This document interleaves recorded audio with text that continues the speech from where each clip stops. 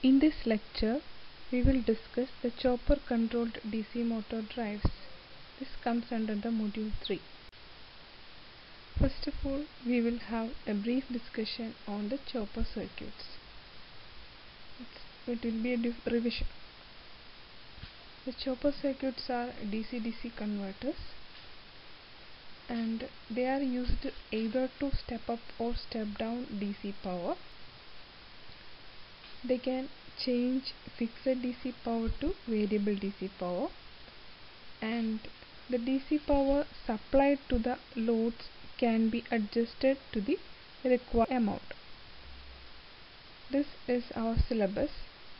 In our syllabus, we will have to discuss the chopper controlled DC motor drives, analysis of single quadrant chopper drives, regenerative braking control, two quadrant chopper drives, and four quadrant chopper drives. Among this, we have to discuss the single quadrant choppers, two quadrant choppers, and four quadrant choppers.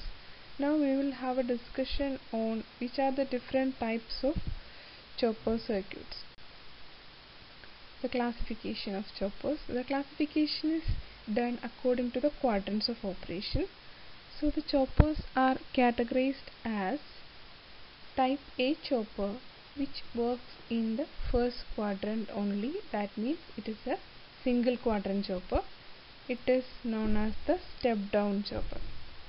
Next type B chopper which works in the second quadrant only so it is also a single quadrant chopper it is a step up chopper next is type C chopper it is a two quadrant chopper which can operate in first and second quadrants because it is a combination of type A and type B choppers next type D chopper which is also a two quadrant chopper which can operate in first and fourth quadrants.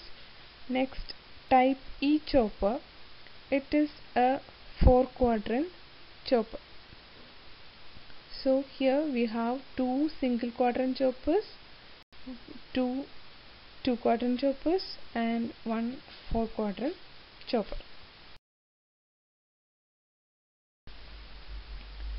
Next, we will discuss the analysis of single quadrant chopper drives.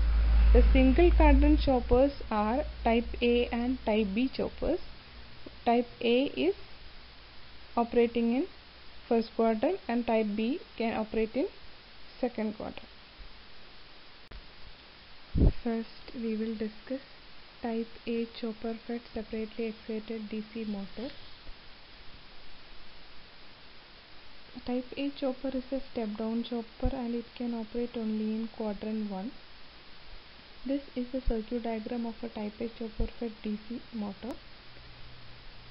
The type A chopper consists of a voltage source, a switch and a freewheeling diode and in this circuit it feeds the armature of a separately excited DC motor.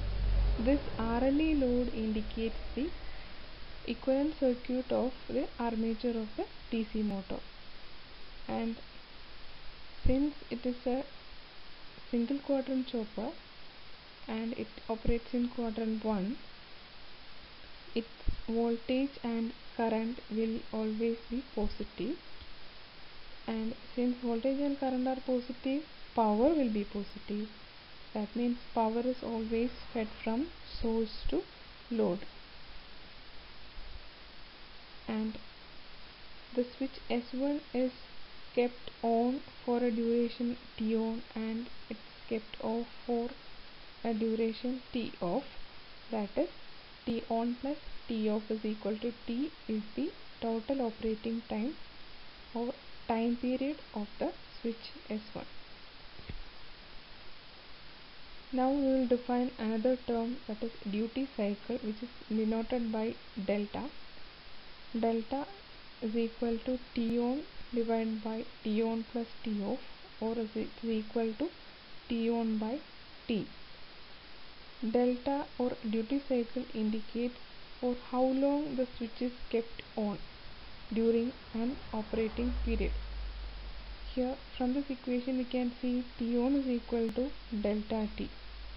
So we can say that the switch is kept on from time t is equal to 0 to delta t and it's kept off from time t is equal to delta t to t. This is the equivalent circuit of the drive when the switch is kept on. That is during t on the switch is closed. It is known as a duty interval. And since the switch is closed the armature of the DC motor is directly connected to the source. So armature terminal voltage VA is equal to the source voltage VS VA equal to VS and since the power supply is directly connected to the armature the current increases from IA1 to IA2 IA1 is the initial value and IA2 is the final value in that interval. Next we will discuss the freewheeling interval that is during T off. The switch is kept open.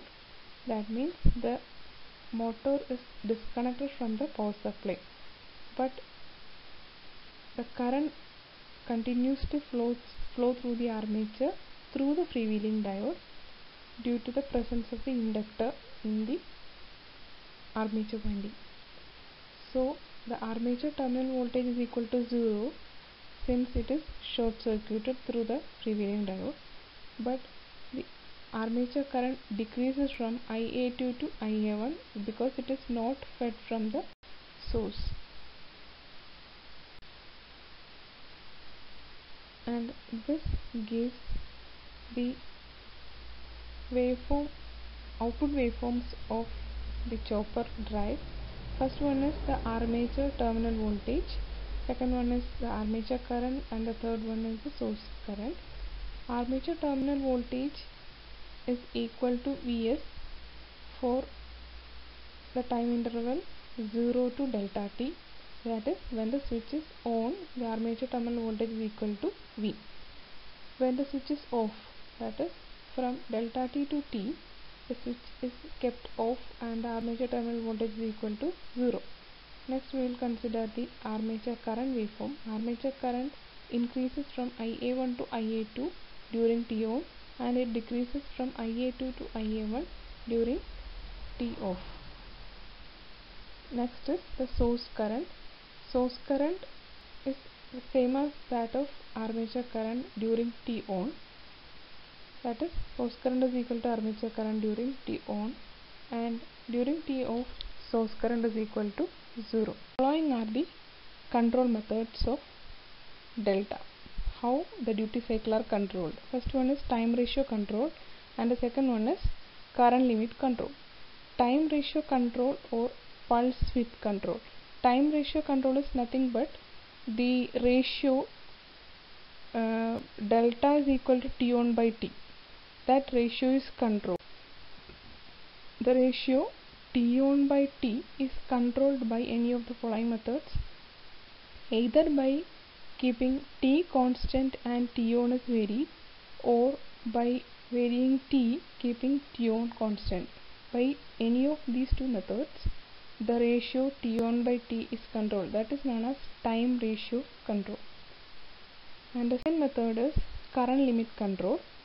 Here the duty ratio is controlled by controlling the load current between certain specified minimum and maximum values